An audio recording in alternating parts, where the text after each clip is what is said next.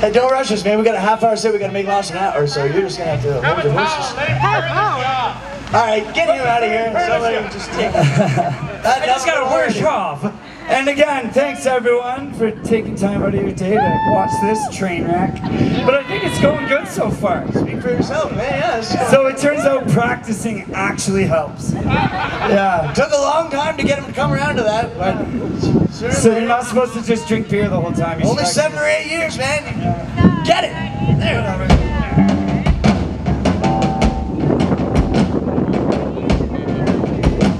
This one's called Workers Unite.